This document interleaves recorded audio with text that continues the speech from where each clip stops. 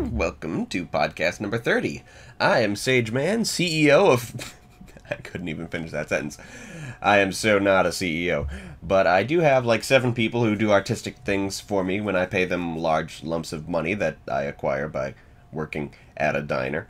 So that's kind of like a CEO. Uh, for those of you just joining us, well, uh, this is not a bad time to jump on. Uh, the usual first two segments of the podcast, the companion segment and the Team Salmon segment, are hereby discontinued unless there's something to talk about regarding them, but there's no shortage of topics in the other three segments. And the first segment is the new fanfiction segment. Uh, last week I talked about my first fanfic, The Good Life, a very embarrassing Monsters vs. Aliens fanfic, which I wrote 10 years ago. Well, that fic launched an entire six-part story when I decided to make it a crossover with uh, Twilight. So, uh, yeah, the first story in that series, although where one story ends and another begins was, in retrospect, utterly arbitrary, is called Monsters vs. Vampires, and has 22 chapters, and an interesting feature about this series is that every chapter is told from first-person perspective by a different character. That's kind of cool. Chapter 1, Wake Up Call, narrated by Bella. It's been two years since the end of Breaking Dawn, and Bella and Edward are on Isle Esme for some reason. And uh, when Alice appears, Bella and Edward have apparently been on the island for so long that they're completely unaware that there was an alien invasion recently that was thwarted by monsters. But now Alice reports that they're coming to determine if vampires pose a threat to humans. That is, the monsters are coming. Uh, Alice has prepared a slideshow explaining the backstories of the five monsters, the sort of thing that wasn't in the movie but was explained on the official Monsters vs. Aliens website. So, yay, I did research. The monsters arrive on Isle Esme, and immediately, since the trio of vampires are glittering in the sunlight, it's pretty clear they found their quarry. You know, doesn't glittery doesn't equal vampire, but it means something, right? Uh, the Cullens quickly explain that if any human receives confirmation of the existence of vampires, the Volturi will rain bloody vengeance. Also explain that their family does not harm humans. The monsters demand to know where to find the vampires who do feed on humans, but the Cullens refuse on the grounds that the monsters can't exterminate an entire race of immortals, and the two groups decide there's a lot they need to talk about. Chapter 2 Introductions, narrated by Dr. Cockroach. Edward explains the basics of Twilight vampire lore. His mind reading capabilities are tested. Uh, he takes a moment to read Bob's mind, and it, it, takes him a while to find anything. That that's a good one. You know that that's a pretty good joke. Good one past me. Uh, you know, good joke that's only possible in this particular crossover. Good on you. In return, Dr. Cockroach gives some further background on the monsters for the benefit of Bella. Uh, uh, for some reason, it's only taken this long for the monsters to agree that they will not reveal the vampires to any human. Strictly monster knowledge, as Bella puts it. So, uh, yeah, that happened way too early, but that's the status quo I'm setting up. The Cullens and the monsters have a knowledge of each other. Link and Edward exchange cell numbers just in case they ever need each other. Am I going to sniffle at the end of every chapter? Okay, um, chapter 3, Threats, is narrated by Jacob, who turns out to have been on the island with Edward, Bella, and Renesmee the whole time, who it's established is on the verge of puberty, what with her accelerated growth and all. You know, I used to accept all that at face value. It, it's weird how ridiculous and, and kind of creepy it sounds now. So Jacob is brought up to speed on the previous day's events, and Alice has a vision of the Volturi wanting now to terminate the Modesto monsters to safeguard the secret. There's a line about how the Volturi still aren't the bad guys because when the dialogue in Twilight said as much, I believed it, even despite the evidence to the contrary. I'm on the spectrum, okay? I, I believe things people say, and I'm not good at extrapolating or analyzing. So Jane and Alec turn up at Isle Esme and interrogate the Cullens about the risk posed to vampire secrecy. They determine that Bob cannot be trusted with the secret and plan to destroy him. Edward calls Link to warn him. Uh, Edward, Alice, Bella, and Jacob aren't sure they should stick their necks out to defend the monsters, but Renesmee wants to. So they do. Because Twilight. Chapter 4, Romance, is narrated by Susan. She and Dr. Cockroach are going to Los Angeles for their first date. Susan rambles a lot in her first person narration. It's, it's not badly done. I, I kind of dig it.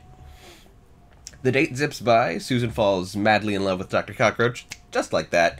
And they run home to try and make out, only to find that their size difference makes the experience less than pleasurable. So Dr. Cockroach resolves to build a Susan sized sex robot to gratify her physical needs. So there's that. Chapter 5, The First Assault, is narrated by Link. Uh, he and Bob are filming a commercial to raise awareness for global warming, which I suppose is a callback to that really, really bad, inconvenient truth joke that Will Arnett ad libbed and the hacks at DreamWorks decided to actually put in the movie. Uh, the two of them drive home in Link's Lamborghini Diablo because that's a bitchin' car. Um, it's explained that Insecto is at Yellowstone, and Susan and Doc are working on their robot, so I guess it's been some time since the previous chapter. Anyway, they're driving back from filming the commercial when Jane shows up to kill Bob. She can't do any harm to him because indestructible gelatinous mass. Yeah. There's a fight scene that's not too bad, except there's a moment where Link punches Jane and it actually does damage. I don't think that is actually possible because Twilight vampires are super OP and it's been established in this very story that Link is a natural creature and therefore way below the power level of the other monsters. I think I may have accidentally nerfed Twilight vampires because they can't go as fast or jump as high and they're not quite as strong. I, guess at this point I hadn't noticed how insanely overpowered they are and subconsciously scaled them back to a reasonable level so that uh, Link in particular could operate on their level. Anyway, the fight ends with Jane imprisoned inside Bob's body. Link calls Edward, who promises that he and the rest of the Cullens will be at the monster's home shortly to figure out how to deal with the problem. Chapter 6, Defense, is narrated by Carlisle for some reason. The Cullens arrive at the mansion in Modesto. Bella shields them all from Jane's powers, and Jane, exasperated, returns to Volterra to report her defeat to her bosses. The monsters decide to throw the Cullens a wild party in repayment for their help. There's two consecutive halfway decent jokes here. Uh, Link asks, You guys remember what happened last time we had a party? Because I don't. That's, that's a decent partying joke. And Dr. Cockroach replies, Ugh. Really gotta start editing these. Okay, Dr. Cockroach replies, I seem to recall that I woke up playing saxophone in a church in Nigeria, and that's the last thing I remember before I was brought back to my senses by being run over by a chariot in Newark. That's some pretty good random absurdist humor. The, this story really isn't very good, but I'm getting more genuine enjoyment out of it than I did from the first part of it, more than I thought I would, for sure. My overall writing quality is subpar, but the moments and the jokes are really solid. Chapter 7, Convention, is narrated by Maximum Ride. I couldn't resist anymore. I threw in the cast of the third thing that had inspired me that year. Uh, Maximum Ride is a series of novels about six mutant children with wings. I don't know if it had any cultural impact. It it had a movie adaptation, but I didn't find out about the adaptation until two years after it came out, so all signs point to the whole franchise being forgotten. But ten years ago, it was kind of a big deal, and Twilight and Maximum Ride was an immensely popular topic for crossover fanfics. So the fourth and uh, then most current Maximum Ride book ended with the six kids, known collectively as the Flock, flying off for some unknown mission given to them by the voice in Max's head. The fifth book ended up not revealing what that mission was, but in this fanfic it led them to the party that the monsters and the Cullens are having in Modesto. The Flock recognize the Modesto monsters and vice versa, as both have done very public saving the world stuff by this point. Link invites the bird kids to participate in what's basically become a monster convention and carelessly outs the vampires to them. Reluctantly, Max and the rest of the flock join the party, where Fang flirts with her because this was at the point in the series where they weren't together yet, but he was often trying to get together. Chapter 8, Good Times, narrated by Jacob, whose first thought is to say what an honor it is to be the first character to narrate two chapters. That's awesome. Good old Jake being kind of meta.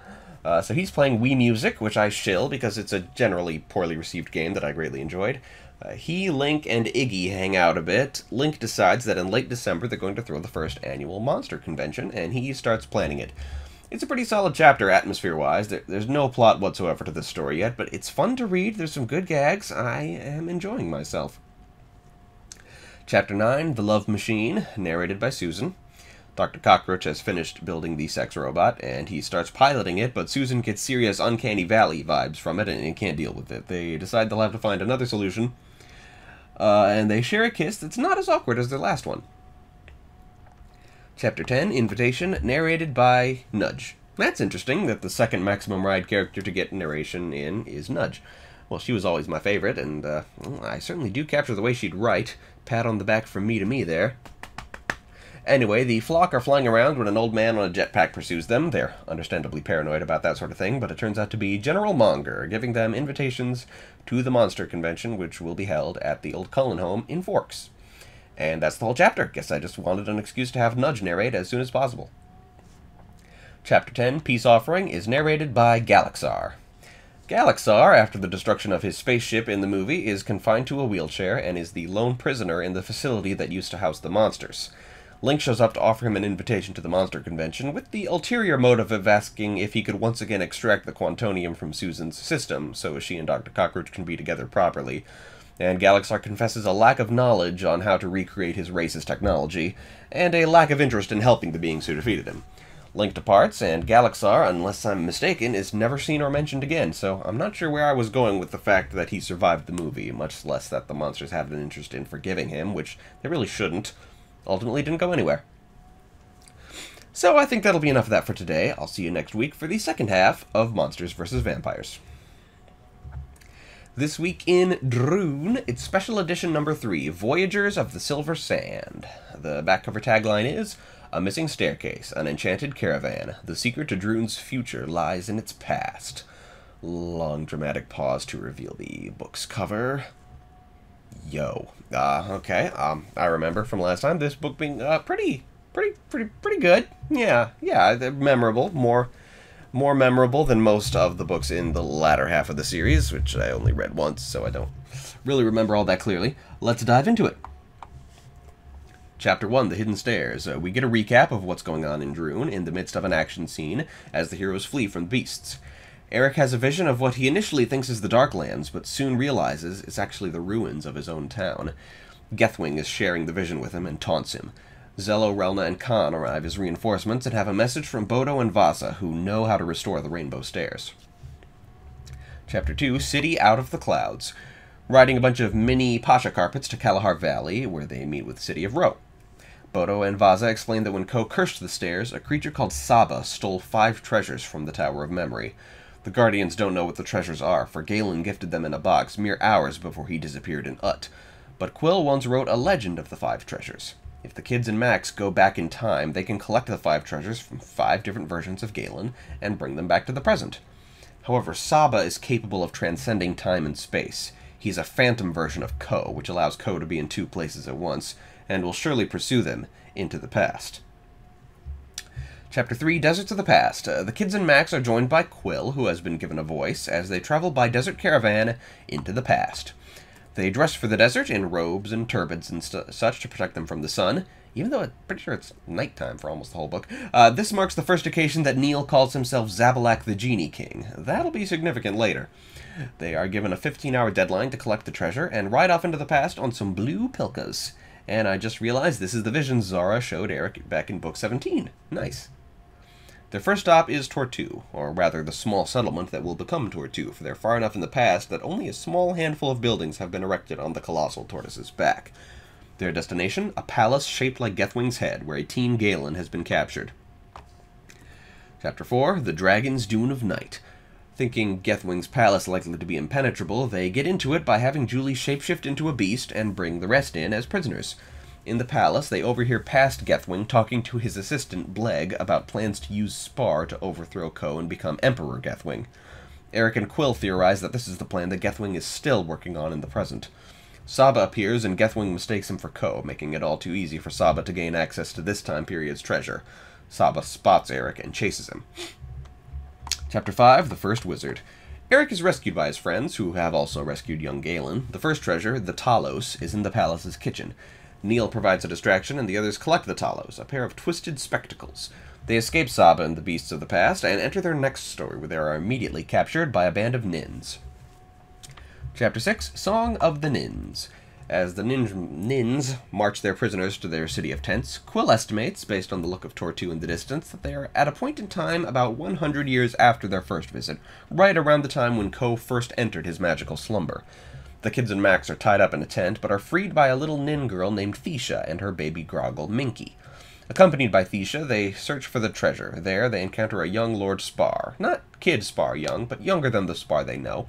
This turns out to be the moment Sparr announced Ko's disappearance, took control over the Ninn armies, and dubbed himself Lord Sparr. The heroes spot Saba making a beeline for Sparr's newly constructed palace and know that the second treasure must be there. Thesha summons Minky's mother, and the heroes ride the Groggle to the palace. Chapter 7 The Luck of the Voyagers. Sparr realizes he's being pursued and attacks. The heroes escape and find a young Galen frozen in stone. Eric can somehow read the inscription at the base of the Galen statue and frees him. Galen fights Sparr, and the kids go deeper into the palace as Saba draws ever closer. At Sparr's workshop, they find the newly constructed Three Powers, so they consider destroying them, but realize this would alter the future, so they don't. Instead, they encourage Galen to shapeshift them and scatter them to the winds, as they know he did in their past. Saba comes upon them, and they realize that the rain stick Thesha gave them must be the second treasure after all. As young Galen holds off Saba, the heroes flee. Chapter 8 The Rat Faced Snitchers of Zoop. In the next time period, the kids encounter the Knights of Silver Snow, who have been called upon by Galen to find a group of thieves called the Rat-Faced Snitchers of Zoop. They spy on the Snitchers at an oasis. The Snitchers have stolen the greatest treasure of Max's race, the Gizzleberry Seed, a magical seed that can be used to grow every variety of Gizzleberry. Max intervenes before the Snitchers can destroy the seed, and they rescue a young Galen, once again escaping Saba just in time. Their next destination seems to be nowhere, until Tortu approaches. Chapter 9 The Domed City. The kids reminisce about their last time in Tortu, and as they explore the city, they realize it is their last time in Tortu. They've been taken to the exact moment they visited the city back in Book 13.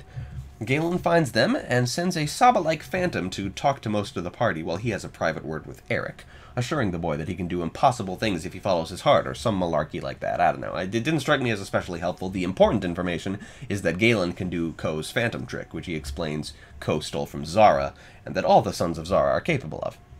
Galen and Eric rejoin the others, and Galen retrieves the fourth treasure, a blue stone called the River Dragon, from within a fountain in Tortu. The kids take the magic caravan to the final story. Chapter 10 Midnight on the Silver Sand. When they arrive, Saba is already there, as is Ko. They realize they've come back in time, to before Galen ever set foot in Droon.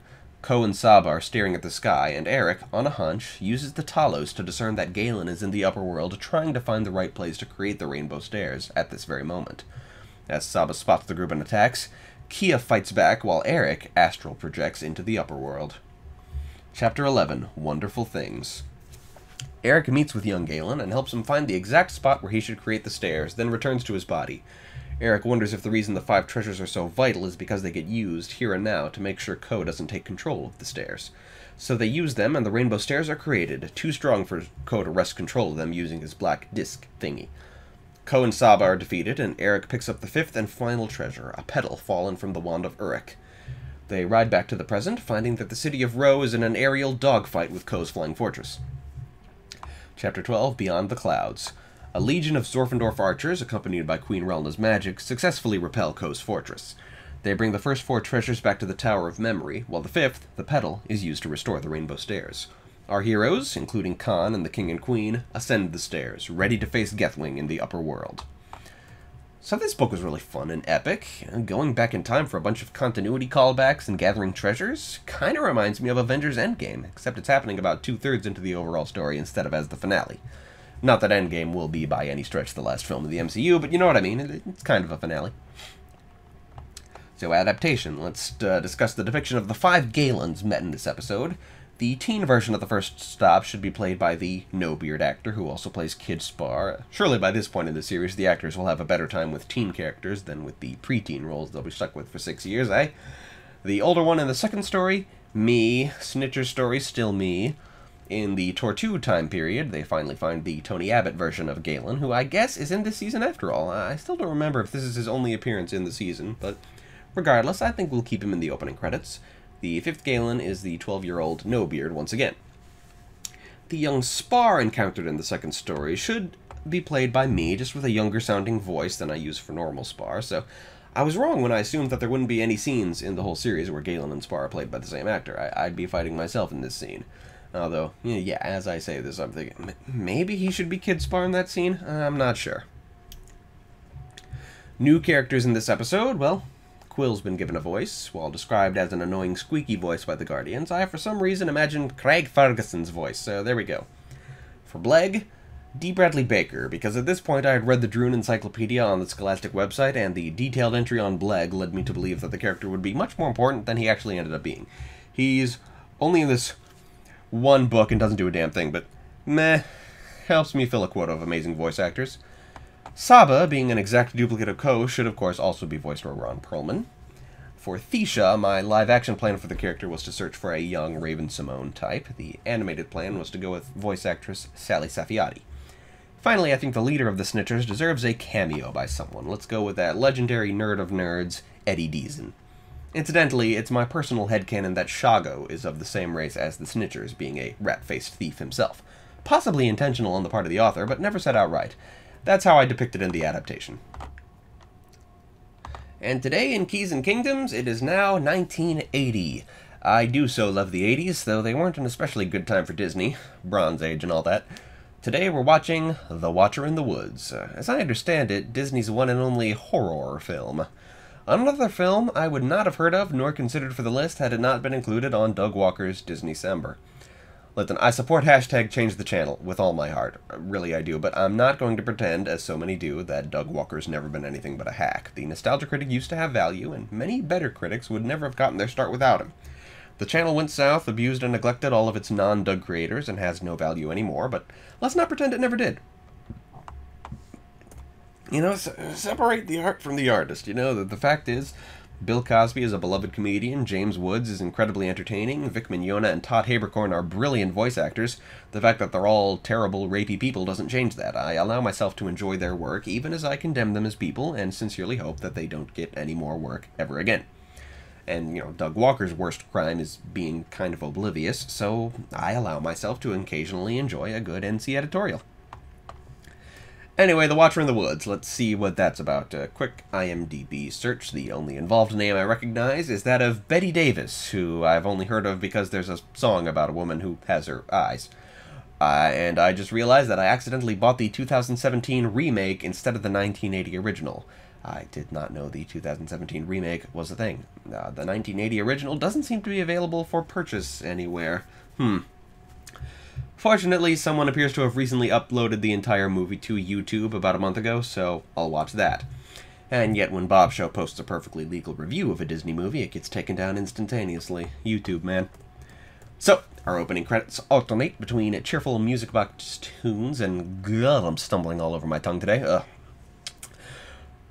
what was I saying? Our opening credits alternate between cheerful music box tunes and a genuinely scary soundtrack.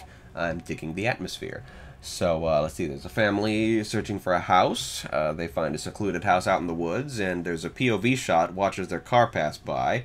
The POV of the titular Watcher in the Woods, I suppose, whatever that may be. The family has two daughters, one teen and one not quite teen. I'm guessing the teen will be our protagonist. The realtor talks with the owner of the house, played by Bette Davis, who's very shifty and suspicious, and that's our setup. I don't feel much like synopsizing this particular film you know, I, I, I think I'll just stick to the important stuff. Um, the acting and cinematography are very cheesy and 80s but the, the, horror atmosphere is quite effective. Um, I'm taking atmospheric notes, you know. So, so glass shatters in the presence of the watcher, the old lady talks to it, the protagonist can't see her reflection in a mirror, there's flashes of blue light. Uh, you know, by the time I was a little over 25 minutes in, my theory was that the Watcher is the homeowner's deceased daughter who wants to kill and replace our protagonist, Jan. I uh, will not disclose whether or not my theory was right. It's a, it's a twisty horror film. I, I think you should watch it yourself to find out the secrets. With luck, it'll still be free on YouTube, or maybe it'll be on Disney Plus. I still don't know how comprehensive the Disney Plus library will be. Just that they'll be removing the crows from Dumbo. How the heck are they going to do that? They're kind of plot relevant. So yeah, not going to give a single detail about any of the film's plot points or sequences, much too twisty. I will say this, the ending is very sudden. Um, I expected some kind of resolution, but no, it's climax, and then fade to black and credits roll. It's, it's a happy ending, it's just not so much of an ending as it is a stopping point. So yeah, that's all I got to say about The Watcher in the Woods. Uh, I recommend it. It was good. So that's it for part one of the Bronze Age. I went and bought all the movies for part two of the Bronze Age. Let's hope I didn't accidentally sneak any remakes in there like like this one. Uh, so now let's recap what I learned about Keys and Kingdoms from that first third. Uh, the Aristocats, I want to borrow its elements of geography and travel. Bedknobs and broomsticks, lots of details. You know, sulfuric motorcycle, other magical vehicles a bed of transportation as a magic item. Uh, natives do not equal uplifted animals. You know, I, I knew that already, but it helps to solidify it and make it canon. Uh, a native must resemble an air-breathing vertebrate, but maybe merfolk can talk to more creatures, like cephalopods and crustaceans, and whole armies of animated objects, perhaps brought to life by a star-shaped amulet. Robin Hood, I thought maybe natives work under a caste system, with the species equaling social role. That natives work very much like the Faunus from RWBY. I gave all natives an unarmed piercing attack to represent biting or horns, and Mishkas and Circes are very welcome in native communities, less fringe than in human communities. The Many Adventures of Winnie the Pooh, uh, books with worlds inside, plushy constructs resistant to bludgeoning damage and made to entertain the children of wizards and the super rich. There are elephant and dire weasel variants that are actually dangerous. Some bounce. Gotta openly use some Disney imagery. I mean, uh, these, these plushy constructs definitely qualify, but the other things like Pooh's clay pots of honey. And think of blustery day and rainy day disasters. The rescuers' uh, Mishka society should always parallel that of the local humans, and they keep to the sidelines. Also pirate treasure in the bayou. Pete's Dragon. Invisibility should be a staple of dragon spellcasters. Uh, the many uses of dragon parts, and from there the medicinal properties of all magical creatures. Potioneering and the collection of components needs to be a huge part of K&K magic. Sailing plots, amnesia plots. The black hole. Black holes, naturally. Psionics. Robots and droids. Characters who speak almost entirely in quotations and proverbs meteor storms, airlock breaches, and the resultant frostiness. And from The Watcher in the Woods, the atmospheric horror elements I mentioned earlier, culty rituals on eclipses, also dirt bike races. And uh, yeah, what The Watcher turns out to be and where it's from, I gotta think about that. And you know, unrelated to any of the films I watched in this chunk, I started thinking about the K&K multiverse, because that's for sure a thing. And okay, that's the end of another podcast. You know, I had planned to refrain from planning for the future of Tapas until July, but I caved, and I started making those plans yesterday, 12 days before July began. Hey, I held out for a long while, so we got some plans going on. I'd best get to those.